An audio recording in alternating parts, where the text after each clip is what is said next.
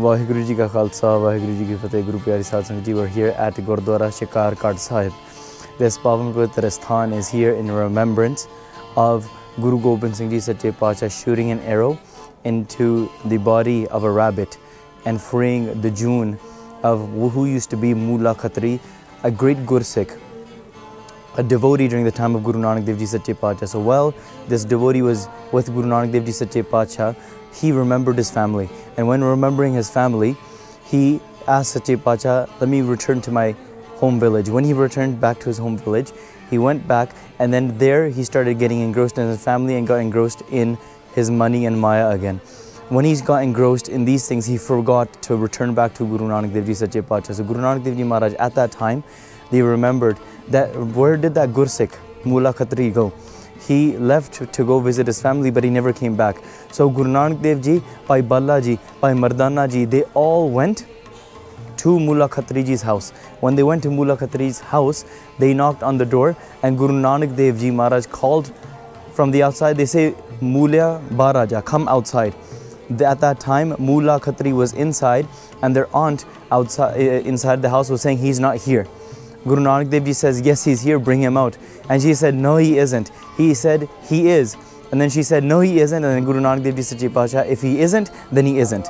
Je hai, hai. So then what's happened is where Mula Khatri was hiding, inside of a closet, this, a snake came and bit him. Mula Khatri, he died at that time. And once he died, he went back into 8.4 million life cycles.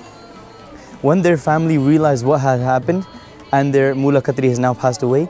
They took Mula Khatri's body to Guru Nanak Dev Ji. They put it in front of Guru Nanak Dev Ji Sache Pacha and uh, asked for forgiveness. They said, Sache Pacha, please forgive me, please forgive me, please forgive us for not speaking the truth to you. Guru Nanak Dev Ji said, because he has turned his face, he's become Bemukh, he's turned his face from the Guru. He's asked to go back into these 8.4 million lives, but because you guys have asked for forgiveness, I'll come back in my 10th form, Dasma Jama, in the Dakhan Desh, in the south countries, he will be there and I will come and liberate him there. And that's exactly what happened in the 10th form. Guru Gobind Singh Ji Sache Pacha came and while hunting, they shot an arrow and they killed a rabbit. And from that rabbit, they showed the entire Sangat that this is who Mula Khatri is. And when they said this bachan, that Mula Khatri, that you are now free because you have once were a great devotee, but because you had to go into these cycles, because you turned your face away from the Guru. That's why you had to go back. But now, the Guru has come and they're liberating you. They're living up to the bachans of Guru Nanak Dev Ji Sache Pacha. They say, the, the Guru Nanak Dev Ji Sache Pacha's bachan, Nal Kirada Dosti Kuda Kudi Pai. That's saying that if you have this attachment with this falsehood, with this greed, uh, none of this is going, going to go with you. All of this is false. Marana jape mulya ava kita thai, meaning that in this world, nobody knows when they're going to die. So let's all constantly remember death. That's what Amrita means.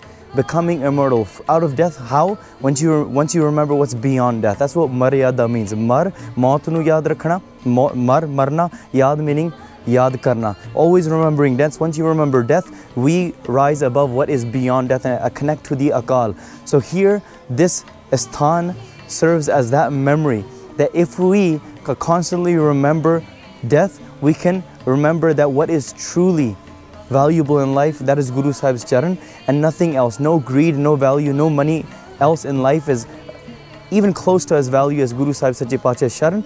But even if we do turn our back, the Guru will still always be there to help us and liberate us. So Guru Pyari Sad Sangat please come to this Asthan and have the Pavan Pavitan Darshan. It's just amazing just being here and looking around at the countryside and having that little experience and feeling what that environment must be like when the rabbit must have been hopping along in the jungle and Guru Gobind Singh Ji must have come with their army and then shot that arrow. So Sad Sangat Ji, please come here and visit. Vaheguru Ji Ka Khalsa, Vaheguru Ji Ki Fateh.